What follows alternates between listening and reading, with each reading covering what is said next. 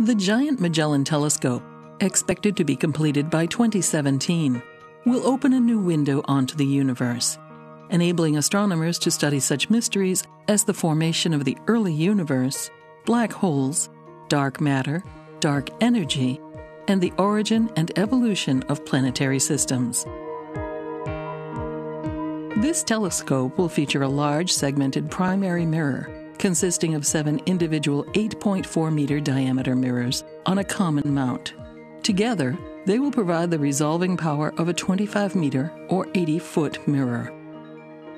GMT's extremely large collection area, as well as its state of the art adaptive optics mirror control system to reduce the blurring effects of the Earth's atmosphere, will enable the GMT to produce images up to 10 times sharper than the Hubble Space Telescope.